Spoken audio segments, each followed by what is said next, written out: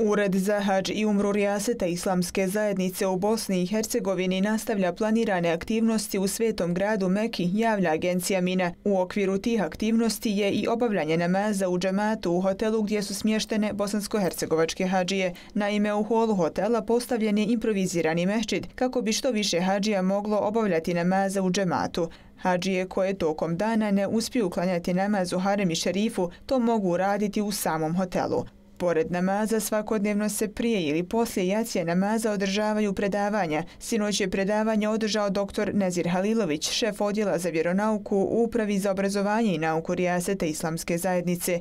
On je hađijama govorio o različitim spletkama kojima šeitan želi nauditi ljudima. Upozorio je hađije da budu oprezne tokom dana hađa kako ih šeitan ne bi ponukao na grijeh kojim bi pokvarili svoj hađ.